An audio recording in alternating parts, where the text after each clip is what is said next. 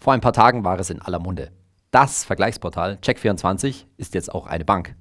Mit der C24 Bank greift Check24 direkt die sogenannten Challenger-Banken an, wie N26 oder Revolut. In diesem Video erkläre ich euch, was das neue Girokonto von der C24 Bank, von der Bank von Check24 taugt und wann ihr es überhaupt benutzen solltet. Ganz im Sinne des Platzhirsches N26 bietet die C24 Bank ein Girokonto an, das nur über eine App oder hauptsächlich über eine App funktioniert. Das heißt, wenn das nichts für euch ist, euer Girokonto hauptsächlich über euer Smartphone zu verwalten, dann wärt ihr bei der C24 Bank falsch.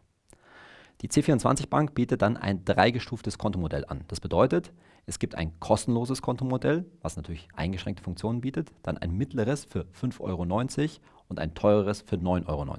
Ein bisschen problematisch sehen wir das ganze Kontomodell der C24 Bank beim Thema Zahlungsverkehr bar oder in der Praxis. Damit meinen wir folgendes. Zum einen gibt es bei der C24 Bank keine Girocard, also keine IC-Karte, sondern ihr bekommt nur eine Mastercard Debit Card. Das bedeutet, diese Debitcard, eine Debitkarte ist ja eine Karte, eine Kreditkarte, die das Geld direkt von eurem Girokonto abbucht. Die funktioniert also quasi auch wie eine Girokarte oder eine EC-Karte. Aber es ist halt eine Mastercard, also eine Kreditkarte. Und damit bekommt ihr, kommt ihr in das Problem, dass Kreditkarten natürlich gerade in Deutschland nicht überall akzeptiert werden. Also seid ihr so ein bisschen an eine Mastercard, an die Kreditkartenverfügbarkeit gebunden und außerdem haben solche Debitkarten noch das zusätzliche Problem, dass sie halt keine vollwertigen Kreditkarten sind. Insbesondere wenn ihr euch einen Mietwagen mal holt äh, im Ausland, kann das gut und gerne mal Probleme geben, weil die dann eben solche Debitkarten manchmal nicht akzeptieren.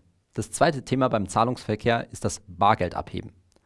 Beim C24-Kontomodell ist es vorgesehen, je nachdem, ob ihr Lastschriften von eurem Girokonto abgehen lasst oder nicht, dass entweder zweimal oder viermal im kostenlosen Kontomodell ihr kostenlos pro Monat Bargeld abheben könnt.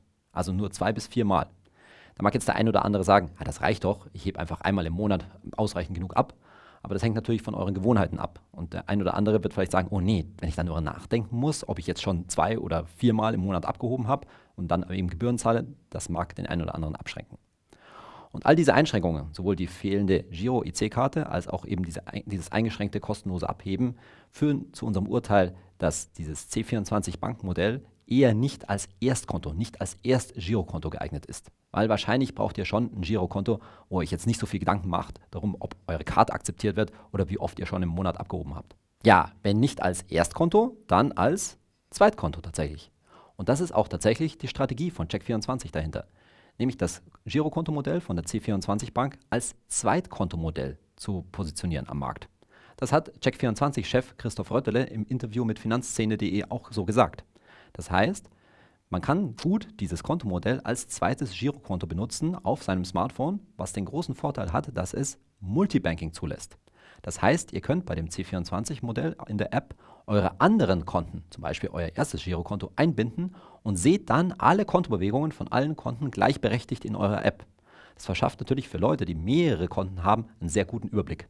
Und das sehen wir tatsächlich auch als potenzielle Stärke dieses Modells, dass man hier eine Möglichkeit hat, über eine funktionierende App wirklich alle seine Konten gut im Überblick zu haben. Und diese Strategie auf ein Zweitkontomodell zu setzen, das ist eben die Strategie von Check24, euch in der App dann Vertragsanalysen anzubieten. Das bedeutet, Check24 analysiert die Daten von den verschiedenen Konten, die ihr dort einbindet und bietet euch, ganz im Sinne des Vergleichsportals, natürlich Vergleiche an.